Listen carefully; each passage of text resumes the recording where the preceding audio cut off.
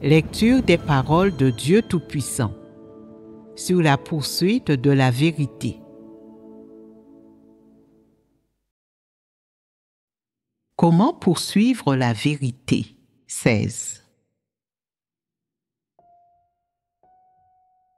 Tout à l'heure, nous avons échangé sur la façon dont la famille fait souvent qu'une personne se sente tiraillée et mal à l'aise. Ils veulent y renoncer complètement, mais ils se sentent coupables dans leur conscience et n'ont pas le cœur à cela. S'ils ne lâchent pas prise, mais s'investissent de tout cœur dans leur famille et s'intègrent à elle, ils se sentent souvent désemparés car certaines de leurs opinions sont en porte-à-faux avec leur famille. Les gens ont alors l'impression est particulièrement difficile de traiter avec leur famille. Ils n'arrivent pas à trouver une compatibilité totale avec elle, mais ils ne peuvent pas non plus s'en détacher complètement. Aujourd'hui, nous allons donc échanger autour de la manière dont une personne doit gérer ses relations avec sa famille. Ce sujet porte sur certains des fardeaux venant de la famille et constitue la troisième thématique du contenu sur le lâcher-prise avec la famille. Le lâcher-prise avec les fardeaux qui viennent de sa famille. Il s'agit d'un sujet important. Quelles sont les choses que vous êtes en mesure de comprendre à propos des fardeaux venant de la famille? S'agit-il de responsabilités, d'obligations, de piété filiale et autres Les fardeaux venant de la famille impliquent les responsabilités, les obligations et la piété filiale dont une personne doit s'acquitter envers sa famille. D'une part, il s'agit de responsabilités et d'obligations dont une personne doit s'acquitter, mais d'autre part, dans certaines circonstances et pour certaines personnes, elles deviennent des perturbations dans la vie de la personne, et ces perturbations sont ce que nous appelons des fardeaux. En ce qui concerne les fardeaux familiaux, nous pouvons les aborder sous deux angles. Le premier est celui des attentes des parents.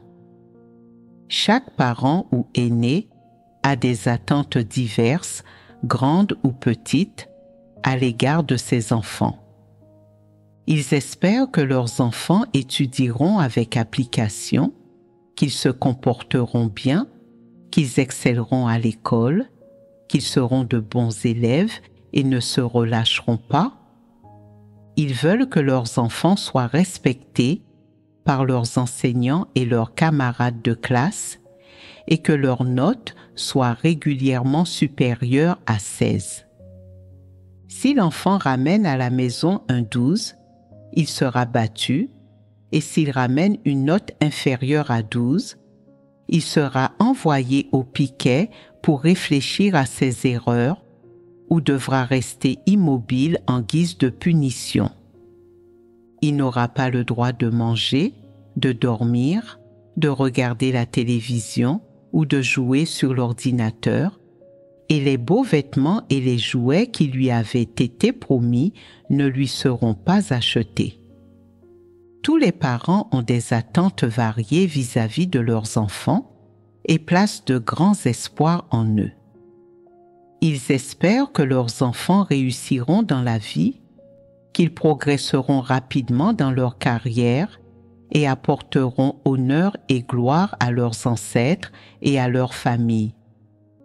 Aucun parent ne souhaite que ses enfants deviennent des mendiants, des paysans ou pire, des voleurs et des bandits. Les parents ne veulent pas non plus que leurs enfants deviennent des citoyens de seconde zone après leur entrée dans la société, qu'ils fouillent les poubelles, soient vendeurs à la sauvette sur les trottoirs ou soient méprisés par les autres.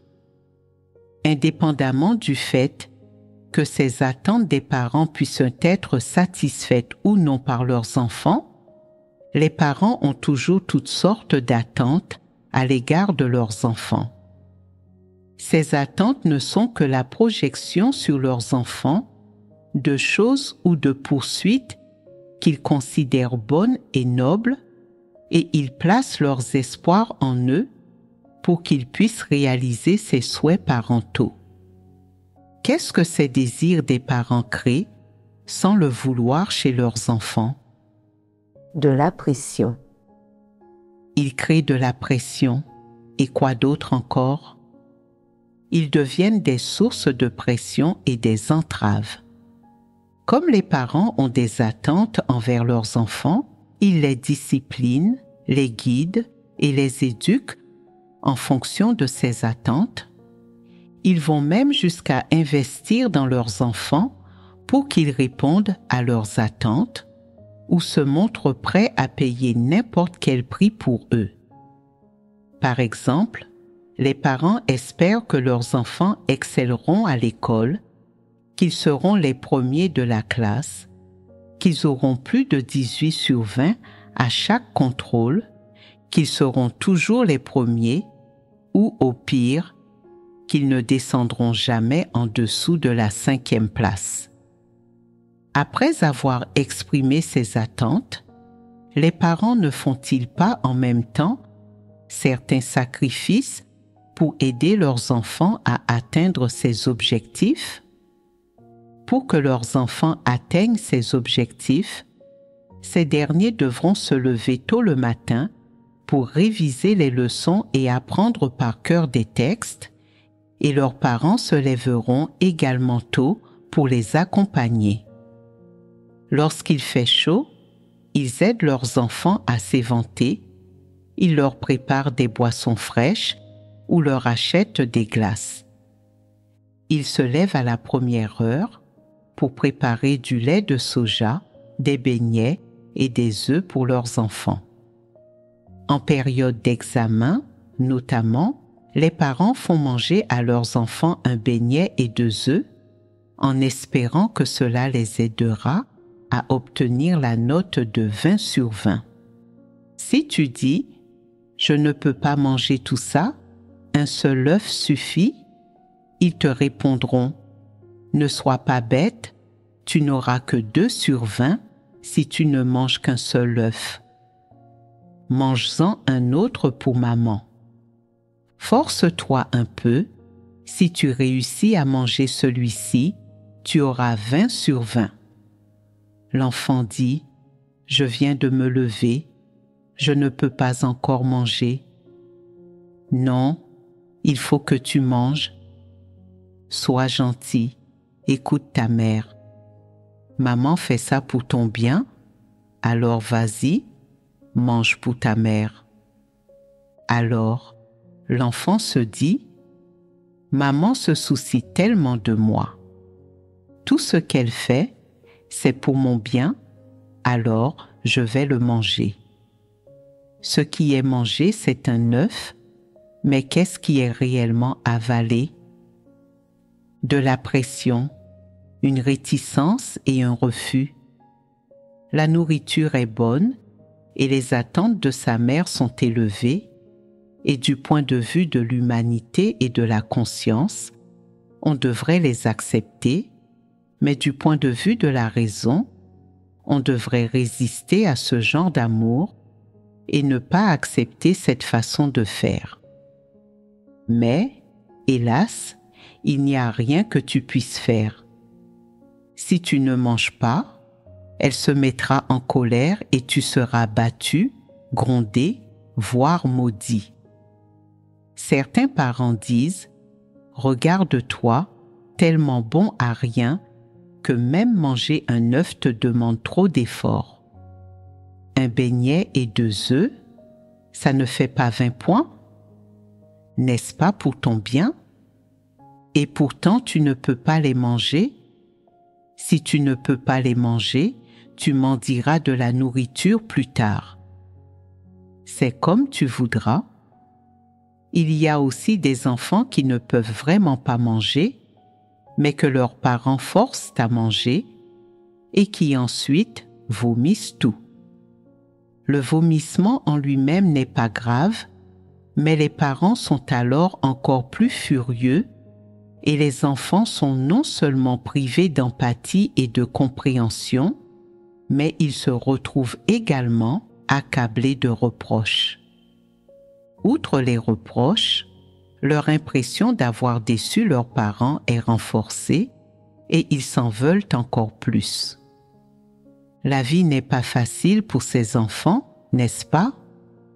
Après avoir vomi, tu pleures en secret dans la salle de bain en faisant semblant de n'avoir pas fini de vomir. En sortant de la salle de bain, tu sèches rapidement tes larmes en t'assurant que ta mère ne te voit pas. Pourquoi? Car si elle te voit, elle te grondera et te maudira. Regarde-toi, tu es un incapable. Pourquoi pleures-tu? Espèce de bon à rien, tu ne peux même pas manger un si bon repas. Que veux-tu manger? Si tu devais te priver de ton prochain repas, tu serais capable de manger celui-ci, n'est-ce pas? Tu es né pour souffrir Si tu ne travailles pas dur à l'école, si tu ne réussis pas tes examens, tu finiras à mendier de la nourriture.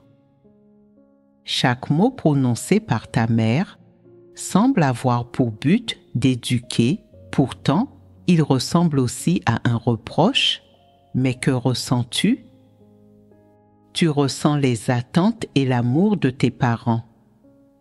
Alors, dans cette situation, quelle que soit la dureté des paroles de ta mère, tu dois les accepter et les digérer, les larmes aux yeux. Même si tu ne peux pas manger, tu dois te forcer, et si tu as la nausée, tu dois quand même manger. Cette vie est-elle facile à supporter? Non. Pourquoi cela? Quel genre d'éducation reçois-tu à travers les attentes de tes parents? La nécessité d'avoir de bons résultats aux examens et de réussir mon avenir. Tu dois te montrer prometteur, tu dois être à la hauteur de l'amour de ta mère, de son dur labeur et de ses sacrifices. Tu dois répondre aux attentes de tes parents et ne pas les décevoir. Ils t'aiment tellement qu'ils ont tout donné pour toi et ils font tout pour toi en sacrifiant leur vie. Alors, que sont devenus tous leurs sacrifices, leur éducation et même leur amour Ils sont devenus pour toi une dette à rembourser et en même temps, ils sont devenus ton fardeau. C'est ainsi que se forme le fardeau que les parents fassent ces choses par instinct, par amour ou du fait d'impératifs sociaux, au bout du compte, recourir à ces méthodes pour t'éduquer et te traiter, et même pour t'inculquer toutes sortes d'idées, n'apporte pas à ton âme la liberté, l'affranchissement, le confort ou la joie. Que t'apporte-t-elle? De la tension et de la peur, la condamnation et le mal-être de ta conscience. Quoi d'autre? Des chaînes et des contraintes. De plus, face à de telles attentes de la part de tes parents, tu ne peux pas t'empêcher de vivre pour leurs espoirs. Pour répondre à leurs attentes, pour ne pas décevoir leurs attentes et pour ne pas les laisser perdre espoir en toi, tu étudies chaque jour toutes les matières avec diligence et application et tu fais tout ce qu'il te demande de faire. Il ne te laisse pas regarder la télévision, alors tu résistes docilement à la tentation de la regarder, même si tu en as très envie. Où trouves-tu la force de résister? Dans la peur de décevoir mes parents. Tu as peur qu'en n'écoutant pas tes parents, tes résultats scolaires baissent considérablement? Et tu te retrouves dans l'impossibilité d'accéder à une université prestigieuse, tu n'es pas sûr de ton avenir. Tout se passe comme si, sans la surveillance, les reproches et la répression de tes parents, tu ne savais pas ce que te réserve ton chemin. Tu n'oses pas te libérer de leurs contraintes, tu n'oses pas te libérer de leurs chaînes. Tu ne peux que les laisser t'imposer toutes sortes de règles, les laisser te manipuler, et tu n'oses pas les défier. D'un côté, tu n'as aucune certitude quant à ton avenir, et d'un autre côté, par acquis de conscience et par humanité, tu ne veux pas les défier et tu ne veux pas leur faire de mal. Comme tu es leur enfant, tu sens bien que tu dois les écouter, car tout ce qu'ils font, ils le font pour ton bien et pour tes perspectives d'avenir, si bien que lorsqu'ils te fixent toutes sortes de règles, tu te contentes de leur obéir en silence. Même si cent fois d'affilée, tu n'as pas le cœur à le faire, tu ne peux pas t'empêcher d'obéir à leurs ordres. Ils ne t'autorisent pas à regarder la télévision ou à lire des livres pour le plaisir, alors tu ne la regardes pas et tu ne les lis pas. Ils ne te laissent pas te lier d'amitié avec tel ou tel camarade de classe, alors tu ne te lis pas d'amitié avec lui. Ils te disent à quelle heure tu dois te lever, alors tu te lèves à l'heure dite. Ils te disent l'heure à laquelle tu dois te reposer, alors tu te reposes à l'heure dite. Ils te disent combien de temps tu dois étudier, alors tu étudies pendant le temps requis. Ils te disent combien de livres tu dois lire, combien de compétences extrascolaires tu dois acquérir, et tant qu'ils te donnent les moyens financiers nécessaires à tes apprentissages, tu les laisses te dicter ta conduite et te contrôler. Certains parents placent notamment des attentes particulières sur leurs enfants. Ils espèrent que ces derniers pourront les surpasser et plus encore que leurs enfants puissent réaliser un souhait qu'ils n'ont pas été en mesure d'accomplir eux-mêmes. Par exemple, certains parents auraient voulu devenir danseurs, mais pour diverses raisons, telles que l'époque à laquelle ils ont grandi ou la situation de leur famille, ils n'ont finalement pas réussi à réaliser ce souhait. Ils projettent alors ce souhait sur toi. Ainsi, en plus de te demander d'être parmi les meilleurs dans tes études et d'accéder à une université prestigieuse, ils t'inscrivent à des cours de danse. Ils t'obligent à apprendre différents styles de danse après l'école, à travailler davantage en cours de danse, à t'entraîner davantage à la maison et à être le meilleur du cours. En somme, ils exigent non seulement que tu sois admis dans une université prestigieuse, mais aussi que tu deviennes danseur. Tu as le choix entre devenir danseur ou aller dans une université prestigieuse pour faire des études supérieures et obtenir un doctorat. Tu n'as le choix qu'entre ces deux voies dans leurs attentes, d'une part, ils espèrent que tu travailleras dur à l'école, que tu accéderas à une université prestigieuse, que tu te démarqueras des autres étudiants et que tu auras un avenir prospère et glorieux. D'autre part, ils projettent sur toi leurs souhaits inassouvis en espérant que tu pourras les réaliser pour eux. Ainsi, pour ce qui est de tes études ou de ta future carrière, tu te retrouves à porter deux fardeaux à la fois. D'un côté, tu dois répondre à leurs attentes et les remercier pour tout ce qu'ils ont fait pour toi en t'efforçant de te démarquer de tes pères afin qu'ils puissent jouir d'une vie agréable. Et d'un autre côté, tu dois réaliser les rêves qu'ils n'ont pas su accomplir dans leur jeunesse et les aider à réaliser leurs souhaits.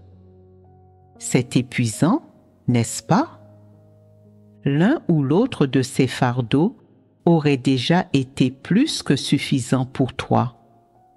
L'un ou l'autre suffirait à te faire te sentir à l'étroit et à étouffer. En particulier, à l'époque actuelle où la concurrence est extrêmement féroce, les nombreuses exigences que les parents imposent à leurs enfants sont tout simplement insupportables et inhumaines. Elles sont tout à fait déraisonnables. Comment les incroyants appellent-ils cela? Du chantage émotionnel. Quel que soit le nom qu'ils lui donnent, les incroyants ne peuvent pas résoudre ce problème et ils ne peuvent pas expliquer clairement l'essence de ce problème. Ils appellent cela du chantage émotionnel, mais nous, comment l'appelons-nous? Nous appelons cela des fardeaux. Concernant les fardeaux, est-ce là quelque chose que l'individu doit porter? C'est quelque chose qui vient en plus, quelque chose de supplémentaire que tu prends en charge. Cela ne t'appartient pas. Ce n'est pas quelque chose que ton corps, ton cœur et ton âme possèdent ou dont ils ont besoin, mais quelque chose d'ajouté. Cela vient de l'extérieur, pas de l'intérieur. Tes parents ont toutes sortes d'attentes à l'égard de tes études et de tes choix de carrière. Cependant, ils ont fait de nombreux sacrifices et investi beaucoup de temps et d'énergie pour que tu puisses répondre à leurs attentes. Il s'agit pour eux d'une part de t'aider à réaliser leurs propres souhaits et d'autre part à satisfaire leurs attentes que les attentes de tes parents soient raisonnables ou non, en résumé, ces comportements des parents, ainsi que les points de vue, les attitudes et les méthodes qu'ils adoptent, constituent autant de chaînes invisibles pour chaque individu.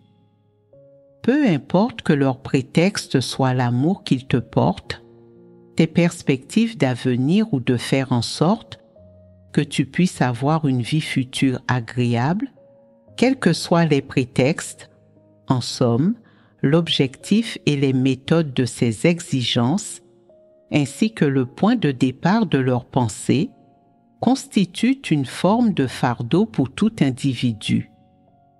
Ils ne sont pas un besoin de l'humanité. Puisqu'ils ne sont pas un besoin de l'humanité, les conséquences que ces fardeaux entraînent ne peuvent être que de déformer, pervertir et fragmenter l'humanité de chacun, ils persécutent, blessent et oppriment l'humanité de chacun. Ces conséquences ne sont pas bénignes, mais malignes, et elles affectent même la vie de la personne. Dans leur rôle de parents, ils exigent de toi diverses choses qui vont à l'encontre des besoins de l'humanité ou certaines choses qui vont à l'encontre des instincts de l'humanité ou les transcendent. Par exemple, ils peuvent n'autoriser leurs enfants à dormir que 5 ou 6 heures par nuit pendant leur croissance. Les enfants ne peuvent pas se reposer avant 23 heures et doivent se lever à 5 heures ils ne peuvent pas faire d'activités récréatives et ne peuvent pas se reposer le dimanche.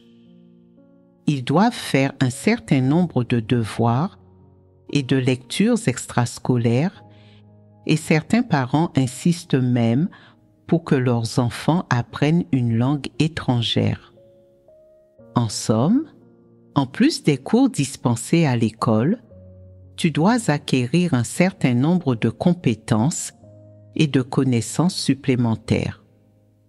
Si tu n'étudies pas, tu n'es pas un bon enfant, obéissant, travailleur ou raisonnable, mais tu es nul, un bon à rien et un imbécile. Sous prétexte d'espérer le meilleur pour leurs enfants, tes parents te privent de la liberté de dormir, de la liberté de ton enfance, ainsi que des moments heureux de ton enfance, mais aussi de toutes sortes de droits dont tu devrais jouir en tant que mineur. Au minimum, lorsque ton corps a besoin de repos, par exemple, si tu as besoin de 7 à 8 heures de sommeil pour que ton corps récupère. Il ne te laisse te reposer que 5 à 6 heures, ou parfois tu dors 7 à 8 heures, mais il y a une chose que tu ne peux pas supporter, c'est que tes parents ne cessent de te critiquer ou qu'ils te disent des choses comme ⁇ À partir de maintenant, tu n'as plus besoin d'aller à l'école, reste à la maison et dors. Puisque tu aimes dormir, tu vas pouvoir dormir toute ta vie à la maison. Puisque tu ne veux pas aller à l'école, tu m'en diras de la nourriture plus tard. Être traité ainsi uniquement parce que tu ne t'es pas levé assez tôt une seule fois, n'est-ce pas un traitement inhumain? Alors, pour éviter cette situation tellement désagréable, tu ne peux que faire des compromis et te restreindre. Tu veilles à te réveiller à 5 heures du matin et tu ne te couches qu'après 23 heures. Est-ce que tu te restreins volontairement de la sorte? Es-tu content de le faire? Non, tu n'as pas d'autre choix. Si tu ne fais pas ce que tes parents te demandent, il se pourrait qu'ils te regardent de travers ou qu'ils te grondent. Ils ne te battront pas, mais ils te diront simplement Nous avons jeté ton cartable à la poubelle tu n'as plus besoin d'aller à l'école. Reste comme ça. Quand tu auras 18 ans, tu pourras aller ramasser les ordures. Ils ne te battent pas, ne te grondent pas, mais ce déluge de critiques est une façon de te provoquer et tu ne le supportes pas. Qu'est-ce que tu ne supportes pas? Tu ne supportes pas que tes parents te disent si tu dors une heure ou deux de plus, plus tard, tu finiras à mendier de la nourriture comme un clochard. Au fond de toi, tu te sens particulièrement mal à l'aise et triste à l'idée de dormir ces deux heures supplémentaires. Tu as l'impression de devoir à tes parents ces deux heures de sommeil supplémentaires de les avoir déçus après tout le travail qu'ils ont investi en toi pendant tant d'années et les inquiétudes sincères qu'ils ont nourries à ton égard. Tu te détestes et tu penses Pourquoi suis-je si nul? Que puis-je faire de ces deux heures de sommeil supplémentaires? Cela améliorera-t-il mes notes ou m'aidera-t-il à entrer dans une université prestigieuse? Comment puis-je être si peu attentif? Lorsque le réveil sonne, je devrais me lever. Pourquoi ai-je dormi un peu plus longtemps? Tu réfléchis et tu te dis, je suis vraiment fatigué. J'ai vraiment besoin de me reposer.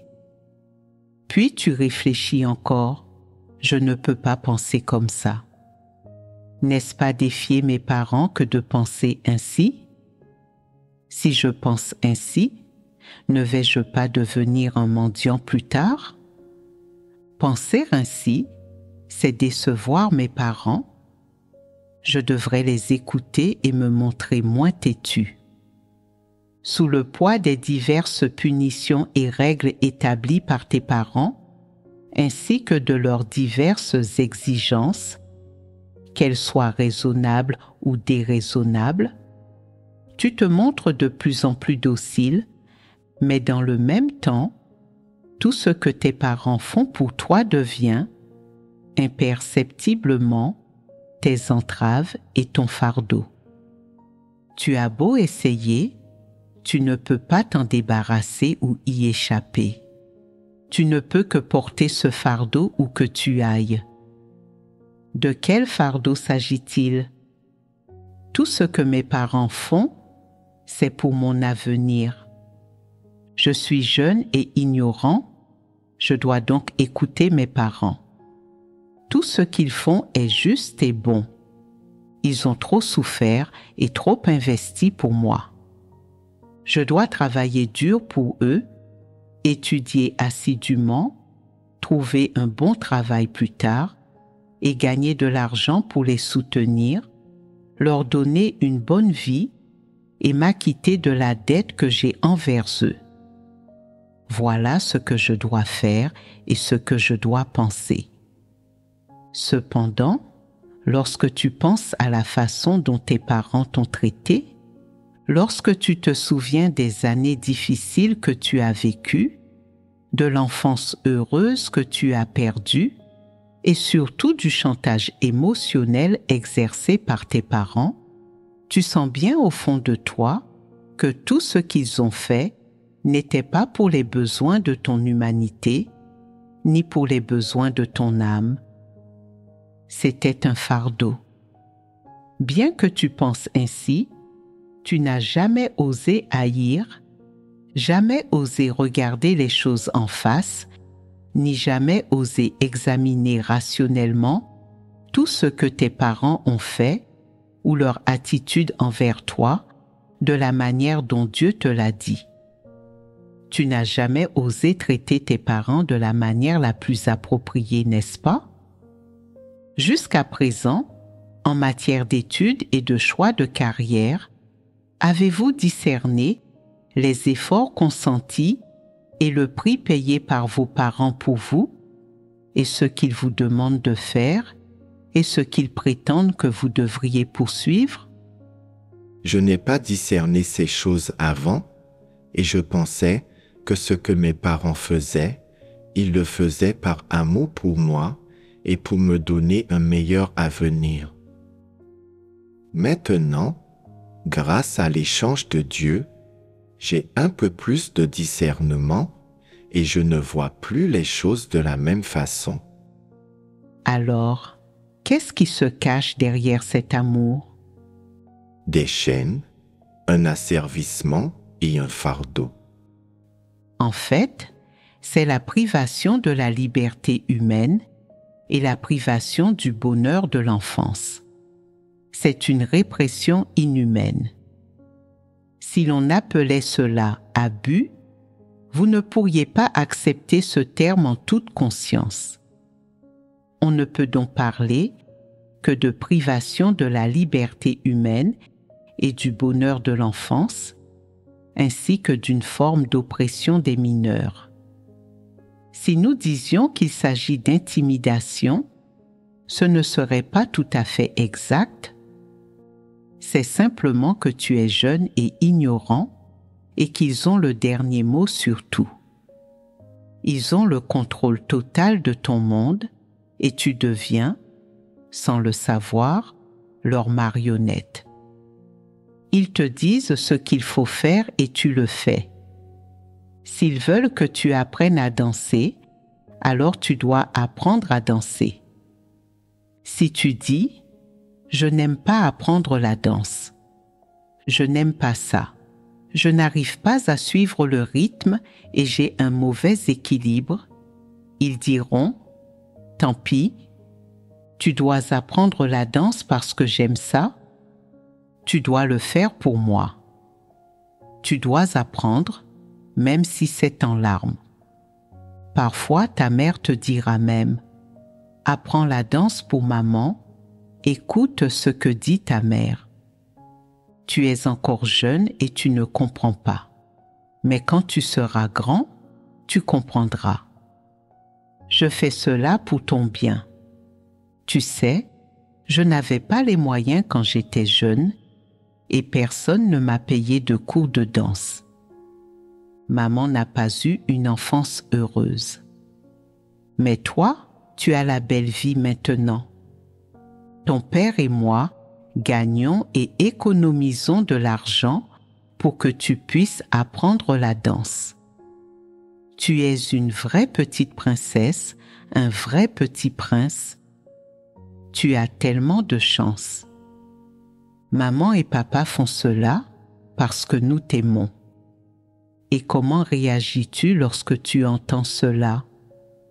Tu restes sans voix, n'est-ce pas? Les parents croient souvent que les enfants ne comprennent rien et que tout ce que disent les adultes est vrai. Ils pensent que les enfants ne savent ni discerner le bien du mal, ni déterminer ce qui est juste pour eux. Ainsi, avant que leurs enfants aient atteint l'âge adulte, les parents disent souvent des choses auxquelles ils ne croient pas véritablement eux-mêmes pour fourvoyer leurs enfants et engourdir leur jeune cœur et les pousser, de gré ou de force, à se conformer à leurs arrangements sans leur laisser le choix. Dès qu'il est question d'éducation, de transmission d'idées et de certaines choses qu'ils exigent de leurs enfants, beaucoup plus de parents encore se justifient souvent en disant ce qu'ils veulent. En outre, près de 99,9% des parents n'utilisent pas de méthode correcte et positive pour guider leurs enfants dans la manière de faire et de comprendre toutes choses. Au lieu de cela, ils inculquent de force leurs préférences unilatérales et les choses qu'ils pensent être bonnes à leurs enfants et les forcent à les accepter. Bien entendu, 99,9% des choses que les enfants acceptent non seulement ne correspondent pas à la vérité, mais ne sont pas non plus les pensées et les points de vue que les gens devraient avoir. Dans le même temps, elles ne correspondent pas non plus aux besoins d'humanité des enfants de cet âge. Par exemple, certains enfants de 5 ou 6 ans jouent à la poupée, sautent à la corde ou regardent des dessins animés. N'est-ce pas normal? Quelles sont les seules responsabilités des parents dans cette situation? Surveiller, réguler, donner des conseils positifs, aider leurs enfants à ne pas accepter de choses négatives pendant cette période et les laisser accepter les choses positives qui devraient être acceptées par cette tranche d'âge. Par exemple, à cet âge, ils devraient apprendre à s'entendre avec les autres enfants, à aimer leur famille, leur mère et leur père. Les parents devraient mieux les éduquer, leur faire comprendre que l'homme vient de Dieu, qu'ils doivent être de bons enfants apprendre à écouter les paroles de Dieu, à prier lorsqu'ils sont en difficulté ou réticents à obéir, entre autres aspects positifs de l'éducation. Le reste consiste à satisfaire leurs intérêts d'enfants. Par exemple, il ne faut pas reprocher aux enfants de vouloir regarder des dessins animés et jouer à la poupée en voyant leur enfant de 5 ou 6 ans regarder des dessins animés et jouer à la poupée, certains parents le réprimandent Tu es un incapable. À ton âge, tu devrais te concentrer sur les études ou le travail. À quoi bon regarder des dessins animés? Ce ne sont que des souris et des chats. Tu n'as rien de mieux à faire? Il n'y a que des animaux dans ces dessins animés. Tu ne peux pas regarder quelque chose qui montre des gens? Quand grandiras-tu? Jette cette poupée. Tu es trop grande pour jouer à la poupée. Tu es une bonne à rien. Pensez-vous que les enfants peuvent comprendre ce que les adultes veulent dire lorsqu'ils entendent cela? Que ferait un enfant de cet âge s'il ne jouait pas à la poupée ou dans la boue? Devrait-il construire la bombe atomique? Créer des logiciels? En est-il capable? À cet âge, les enfants doivent s'amuser avec des jeux de construction, des petites voitures et des poupées. C'est normal. Lorsqu'ils sont fatigués de jouer, ils doivent se reposer, rester en bonne santé et être heureux. Lorsqu'ils se montrent capricieux ou refusent d'entendre raison, ou bien lorsqu'ils causent délibérément des problèmes, les adultes doivent les éduquer. Ce n'est pas correct. Ce n'est pas ainsi qu'un bon enfant doit agir. Dieu n'aime pas ça, et maman et papa n'aiment pas ça non plus. Il incombe aux parents de conseiller leurs enfants et non de recourir à leur façon de faire, à leur point de vue, à leurs désirs et à leurs ambitions d'adultes pour leur inculquer ou leur imposer quelque chose. Quel que soit l'âge de l'enfant, la responsabilité des parents à son égard consiste simplement à le guider, à l'éduquer, à veiller sur lui et à le conseiller. Lorsque les parents voient leurs enfants manifester des pensées, des pratiques et des comportements extrêmes, ils doivent leur donner des conseils positifs et les guider pour les corriger en leur faisant comprendre ce qui est bon et ce qui est mauvais, ce qui est positif et ce qui est négatif. Telle est la responsabilité que les parents doivent assumer. C'est alors que, grâce aux méthodes d'éducation et aux conseils appropriés de leurs parents, les enfants apprendront inconsciemment de nombreuses choses qu'ils ne connaissaient pas auparavant.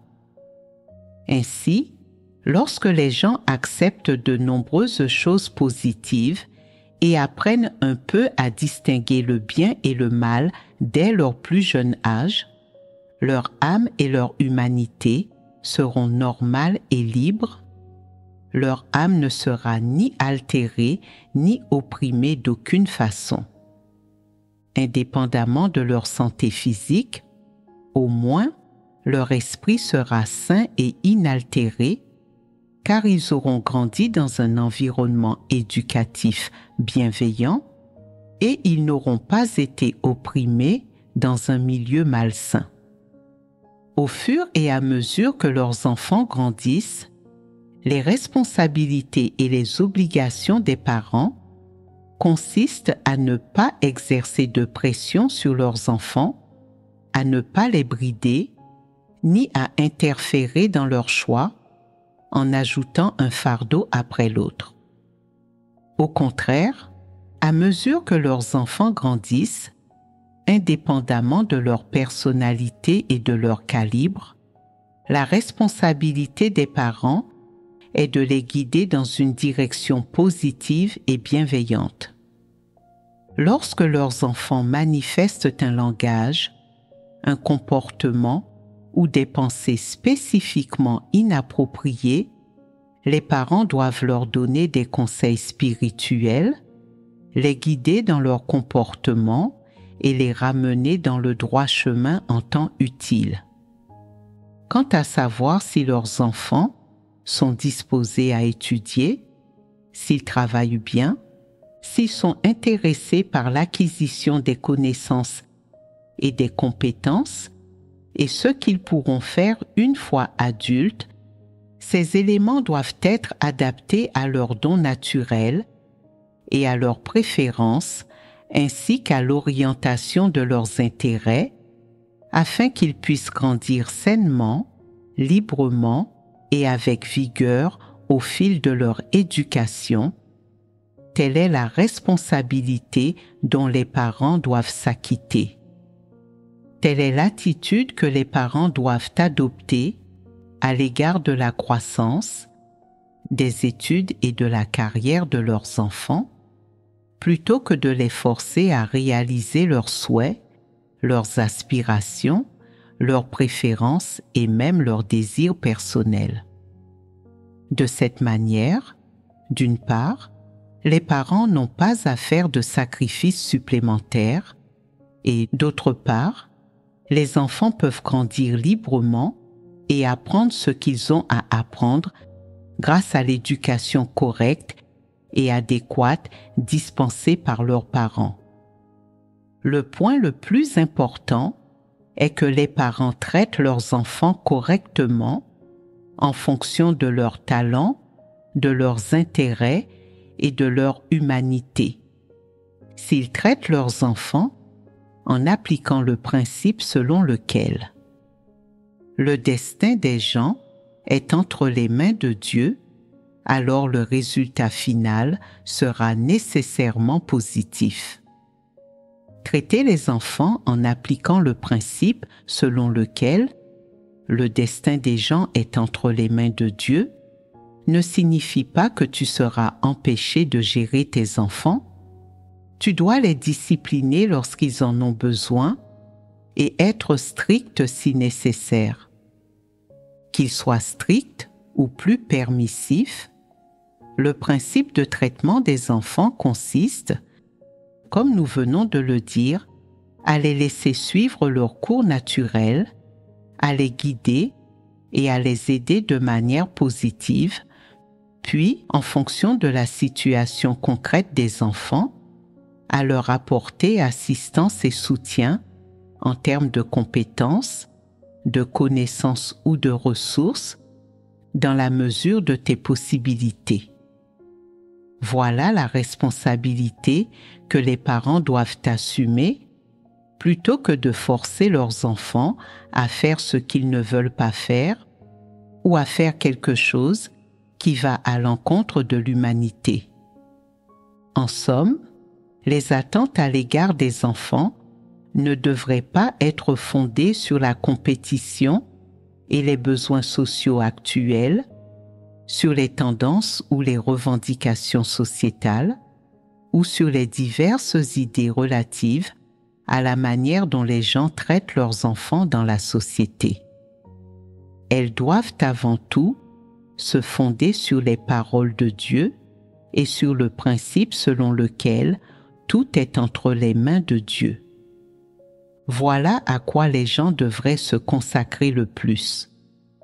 Quant au genre de personnes que les enfants deviendront plus tard, au type de travail qu'ils choisiront et à leur vie matérielle future, entre les mains de qui ces choses se trouvent-elles? Elles sont entre les mains de Dieu et non entre celles des parents ou de qui que ce soit d'autre. Si les parents ne peuvent pas contrôler leur propre destin, comment pourraient-ils contrôler celui de leurs enfants? Si les gens ne peuvent pas contrôler leur propre destin, comment leurs parents pourraient-ils le contrôler? En tant que parents, les gens ne doivent donc pas faire de bêtises dès lors que ce sont les études et la carrière de leurs enfants qui sont en jeu ils doivent traiter leurs enfants de manière raisonnable en ne transformant pas leurs propres attentes en fardeau pour leurs enfants, en ne transformant pas leurs propres sacrifices, leur investissement et leurs souffrances en fardeau pour leurs enfants, et en ne faisant pas de la famille un purgatoire pour leurs enfants. C'est un fait que les parents doivent comprendre. Certains d'entre vous se demanderont peut-être quel type de relation les enfants doivent-ils donc avoir avec leurs parents? Doivent-ils les traiter comme des amis, des collègues ou maintenir une relation fondée sur le respect dû aux aînés? Tu peux régler cette question comme tu l'entends. Laisse les enfants choisir ce qu'ils veulent et fais ce que tu crois être le mieux. Il ne s'agit là que de questions insignifiantes. Comment les enfants doivent-ils aborder les attentes de leurs parents? Que ferais-tu si tu avais affaire à des parents qui font du chantage émotionnel à leurs enfants, des parents aussi déraisonnables et démoniaques Je cesserai d'écouter leurs enseignements, je verrai les choses selon la parole de Dieu. D'une part, tu dois voir que leurs méthodes d'éducation, sur le plan des principes, sont erronées et que la manière dont ils te traitent nuit à ton humanité et te prive de tes droits humains. D'autre part, tu dois toi-même croire que le destin des gens est entre les mains de Dieu. Ce que tu aimes étudier, ce en quoi tu excelles, ou ce que ton calibre humain est capable d'accomplir, tout cela est prédestiné par Dieu et on ne peut rien y changer. Bien que tes parents t'aient donné naissance, ils ne peuvent rien y changer non plus. Par conséquent, quoi que tes parents te demandent de faire, si c'est quelque chose que tu ne peux pas faire, que tu ne peux pas réaliser ou que tu ne veux pas faire, tu peux refuser. Tu peux aussi les raisonner et te rattraper sur d'autres points afin d'apaiser leurs inquiétudes à ton égard. Tu dis, calmez-vous, le destin des gens est entre les mains de Dieu. Je ne prendrai en aucun cas le mauvais chemin, je prendrai assurément le bon chemin. Avec l'aide de Dieu, je deviendrai certainement quelqu'un d'authentique, quelqu'un de bien. Je ne décevrai pas vos attentes à mon égard, et je n'oublierai pas non plus la bonté avec laquelle vous m'avez élevé. Comment les parents réagiraient-ils après avoir entendu ces paroles Si les parents sont incroyants ou qu'ils appartiennent aux démons, ils deviendraient furieux. Car lorsque tu dis je n'oublierai pas la bonté avec laquelle vous m'avez élevé et je ne vous décevrai pas, ce ne sont que des paroles en l'air. As-tu déjà accompli cela? As-tu fait ce qu'ils t'ont demandé? Es-tu capable de te distinguer parmi tes pairs? Peux-tu devenir haut fonctionnaire ou faire fortune pour qu'ils puissent avoir une bonne vie? Peux-tu les aider à obtenir des avantages tangibles? On ne sait pas. Ce ne sont là que des incertitudes. Qu'ils soient en colère, heureux ou qu'ils supportent les choses en silence, quelle attitude devrais-tu adopter? Les gens viennent en ce monde pour remplir la mission que Dieu leur a confiée. Les gens ne devraient pas vivre pour satisfaire les attentes de leurs parents, pour les rendre heureux pour leur apporter la gloire ou pour leur permettre de mener une vie prestigieuse aux yeux des autres. Ce n'est pas de ta responsabilité. Ils t'ont élevé, et quoi qu'ils leur en aient coûté, ils l'ont fait de leur plein gré. C'était leur responsabilité et leur obligation. Quant aux attentes qu'ils ont placées sur toi, aux souffrances qu'ils ont endurées à cause de ces attentes, à l'argent qu'ils ont dépensé, au nombre de personnes qui les ont rejetées et méprisées, et aux sacrifices qu'ils ont consentis, tout cela était volontaire. Tu n'as rien demandé, tu ne les as pas obligés à le faire, et Dieu non plus. Ils avaient leur propre raison de faire cela. De leur point de vue, ils ne l'ont fait que pour eux-mêmes. En apparence, c'était pour que tu aies une bonne vie et de bonnes perspectives d'avenir, mais en réalité, c'était pour se glorifier eux-mêmes et ne pas être déshonorés. Par conséquent, tu n'es pas obligé de leur rendre quoi que ce soit, ni de répondre à leurs souhaits et à leurs attentes te concernant. Pourquoi n'as-tu pas cette obligation? Parce que ce n'est pas ce que Dieu te demande de faire, ce n'est pas une obligation qu'il t'a donnée. Ta responsabilité envers eux est de faire ce que les enfants doivent faire quand les parents ont besoin d'eux, faire de ton mieux pour assumer tes responsabilités d'enfant. Même si ce sont eux qui t'ont donné naissance et qui t'ont élevé, tes responsabilités envers eux se limitent à faire la lessive, la cuisine et le ménage lorsqu'ils ont besoin de toi pour les aider et à rester à leur chevet lorsqu'ils sont malades. C'est tout. Tu n'es pas obligé d'agir en fonction de ce qu'ils disent et tu n'es pas obligé d'être leur esclave. De plus, tu n'es pas obligé d'assumer leurs rêves inassouvis, n'est-ce pas?